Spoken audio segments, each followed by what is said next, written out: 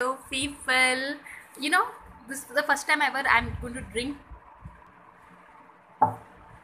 Um, that was a copper little vessel, and uh, did you know that uh, a small change like this, like introducing copper into your, um, you know, into the as a cooking utensil, is a very good tip. And uh, you know, and for summer, clay pots and clay uh, jugs, you know, so I know people, this is basic common sense, but it's so funny that common sense is anything but common. So even for the young mommies out there or you know young homemakers, uh, just incorporate these little tips. And uh, for those wanting to lose weight, did you know just uh, the smaller the plate on which you eat, the less food you will eat. I mean, the larger the plate, the larger your intake of food. Did you know this?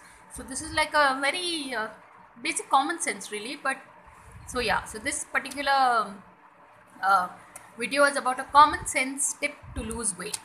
So on that note, thanks for watching and please subscribe.